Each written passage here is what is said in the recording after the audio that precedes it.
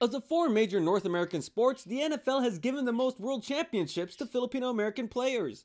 From the benches to big plays, a handful of Pinoys have had the right to call themselves Super Bowl champions. In the big game's 53 year history, Tedy Lacap Bruschi has found the most success. In the early 2000s, the linebacker and defensive captain helped a young Tom Brady win his first three world titles. Bruschi has long since retired, joining ESPN as a commentator, while the Patriots dynasty continues. Three months after raising the flag for his mother's typhoon devastated hometown of Tacloban, Doug Baldwin of the Seattle Seahawks scored a touchdown in the Super Bowl, winning his first ring in 2014. This has been a, a dream of mine since I first put on pads to play football. So to be here now, to be able to experience this moment, uh, enjoy the game of football at the highest level, uh, it means the world to me. It, it, not only me personally, but my family that gets to enjoy it as well. A year later, Baldwin and the Hawks were back in the Super Bowl, but lost to the New England Patriots. In 2016, a Filipino made the Super Bowl for the third year in a row, this time with kick returner Jordan Norwood, the brother of Philippine basketball star Gabe Norwood.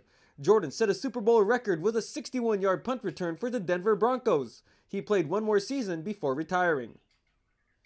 Without playing a regular season down for the Philadelphia Eagles, injured running back Donnel Pumphrey won a Super Bowl ring last year as a member of the team. But not all Filipinos have walked off the field as Super Bowl champions. Arizona Cardinals fans have blamed Aaron Francisco for getting beat on a game winning touchdown against the Pittsburgh Steelers in 2008.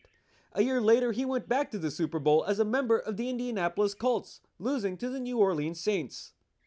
Win or lose underneath the helmets, these players have beamed with Pinoy pride. I would love to say thank you, you know, to to Filipino Americans and and uh, guys out in the Philippines. Just uh, it's an incredible feeling to to have support of a, I mean, of a lot of people, maybe a whole nation of uh, football fans. Much love to the Philippines, to my Filipino family. God bless. Despite a history of Pinoy stars, this year there are no known Filipinos on the rosters of the Los Angeles Rams or New England Patriots. Steve Angeles, ABS-CBN News.